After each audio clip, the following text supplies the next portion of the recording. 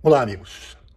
Depois dessa manifestação que ocorreu na Avenida Paulista, onde há um conflito de cálculo relativo à quantidade de pessoas que poderiam estar na avenida, com a USP fazendo um cálculo de apenas 185 mil pessoas. Eu duvidei desse número, obviamente, e fiz alguns cálculos e conversando com alguns pesquisadores aqui da nossa Universidade de São Caetano do Sul, perguntei a eles se eles concordavam com o meu cálculo e ambos concordaram plenamente. Eu vou mostrar para vocês agora como é que foi feito este cálculo. A Avenida Paulista tem quase 3 quilômetros de comprimento e 40 metros de largura. Portanto, 13 mil metros vezes 40 metros de largura chegamos a 120 mil metros quadrados de área ocupável.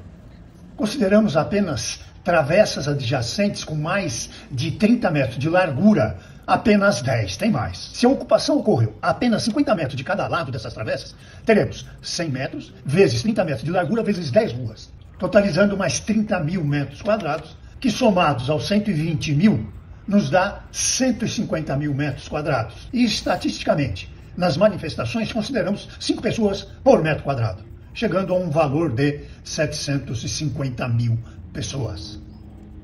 Dessa forma, gente, ou a USP se transformou num lixo político, ou precisa trocar seus pesquisadores, hein?